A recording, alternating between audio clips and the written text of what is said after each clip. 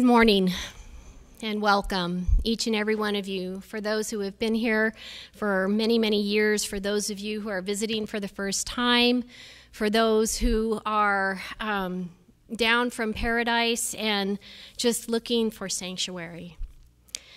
The theme of my talk today is going to be on the topic of sanctuary. Sanctuary is not just a building where uh, Christians and other people of other faiths meet. Sanctuary is a state of mind. Sanctuary is a place that we can enter into in our own beings. Sanctuary is something sometimes that can be created just between two human beings when you put a hand on someone's shoulder or you hold their hand in a time of distress, or just as we in the chaplain world say, holding space with another human being it's hard because right now it's like I want to give every single one of you a crash course in how to be a chaplain. Our community, if you are not traumatized by the fire in paradise, you are vicariously traumatized by being in the midst of the fallout and everything going on with the fire in paradise.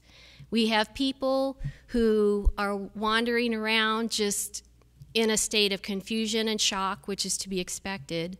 And we have people going, What can I do? What can I do? What can I do? I want to do something. I need to do something. And all that restless energy. So I figured the best thing I could do is to teach you all how to be walking sanctuary in this community in the chaplain world, we have a thing called triage, and triage is something you do when, if it's bleeding, if it's broken, if it's about ready to die, what is the most important thing you have to do? And that is what you take care of. For chaplains and for Christians and people of any faith, the thing we need to be doing right now is being that walking sanctuary. So I'm going to teach you a little tool. What are the first three letters of uh, the alphabet? Okay? This triage is called ABC. It's called Ask, Be There, Care. Okay? Ask, be there, and care. In this moment, we are not going to have all the answers. There is just too many spinning plates going on. But you can treat the emotional and psychic and spiritual distress of our community by simply asking someone if you see them with a face, if they're crying, if they're sad, if they're hunched, whatever, ask them, How are you? How are you? Be there. Be there is simply listen to what they have to say. And it may go on for a while. And you may hear things that you've never heard before. You may hear profanity that you don't like being around. You may hear anger and frustration. That's okay. There's a Swedish proverb that says, A burden shared is half the burden. And when we listen to people siphon off that emotion, you end up creating a space, a walking sanctuary for people to feel safe in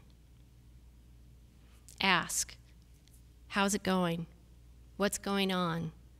And there are people out there who say, Oh, I'm fine. It's okay. You know, we got this, and we got insurance, and we got out, and ha ha ha, you know. And um, in my line of work, we know that that's kind of deflecting because it's too painful. And so, my next question I ask people is, Oh, okay, is that the truth or the sugar coated version? Because you're wanting to pull you're wanting to pull a little bit out and see where they go. When I went back to Colorado, Dr. Wolfelt told a story. He has this house on a ridge, and he has his um, training center right next to it. And uh, some repair workers uh, put in a new heat, a water heater, and they did it wrong, and it caused an electrical fire, and everything burned down. And he said he learned the power of linking objects when all of his colleagues and all of his friends and all the professionals around him said things like, Oh, your wife's a doctor. You guys can replace all this. Or, Oh, you know, hey, you're a grief expert. This shouldn't be bothering you so bad, right? Or, you know, hey, you can replace everything. You had insurance, right? And he wanted us to realize those are the absolute worst things to say to someone when a powerful linking object is gone. If you've taken my grief class, then you know that linking objects have e- tremendous emotional love stories connected to them. And so now that these things are gone, people are feeling lost. So rushing right in and thinking, oh, someone's sad, you know, let's fix it with throwing stuff at it. No, they need time to tell their story. So, sanctuary. We need to be walking sanctuary. Ask, be there, care. Your caring is not going to be talking. Your caring is going to be listening and listening and listening even more. In this time, we are in a place of deep sorrow. We are in a place of trauma. And the only thing, the only thing that alleviates sorrow is storytelling. So, in my grief class, I tell people grief is a love story that has to be shared. Grief is these inner feelings that we have that we need to say, hey, I love someone, I love this person, or I love this thing, and now it's gone. And I need to be able to talk about that.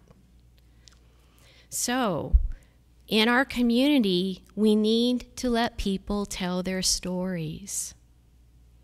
Listen, let them tell their stories. And when you do that, you will alleviate their sorrow and you will cut their burden in half. And that right there is a huge, huge, wonderful healing thing we can do, even if we don't have a Red Cross thing set up in our at Koinonia Hall. It's being those lights, it's being the, the light of Christ. So, sorrow, let people tell their stories. ABC, what does that mean? Simple. Ask, be there, care. Just listen right now. Just listen to their stories. Let them tell you about their linking objects. Let them tell you, let them process that space. And by doing so, you will be sanctuary in this community. That's your chaplain lesson 101 today. And I know that you guys will be able to do it because I know that this is a great church and a great loving community. So now we are going to transition into our time of prayer. And building on that theme of sanctuary, what I would like to do is create a moment and a time where we can hopefully the filters on our AC are doing a good job here. Take a deep breath and, uh, and find our center again in the midst of this trauma. Because trauma amps up and trauma makes us shake and trauma makes us hunched over. And yet it is the simple things of, of slowing down and listening and taking that, that deep breath that bring us back into a place of sanctuary and peace. So, everyone, get comfortable in your pew. Get comfortable in your pew. Feet on the floor, back straight. Hands open to either receive or hands folded for a place of comfort and protection. We are going to create sanctuary through silence. And we are going to listen for the Word of God and those little nudges, because I know God is beating on our hearts. He knows what we need to do, and He has a message for us. So, everyone, together, as you are able and what is comfortable for you, please take one deep cleansing breath.